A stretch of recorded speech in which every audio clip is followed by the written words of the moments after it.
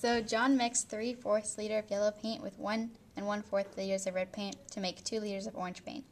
He needs more red pa- orange paint to create a new batch of orange uh, paint. He used exactly one liter of red paint. Using the same ratio, how many liters of yellow paint should John use to make the new batch of orange paint? So what I did was I did three fourths over one and one fourth, which equals x over one and then I changed both of them to a decimal. So now it's uh, 0.75 over 1.25, which equals um, x, which is the yellow paint that would use, that would be used, and one for the liter of red paint.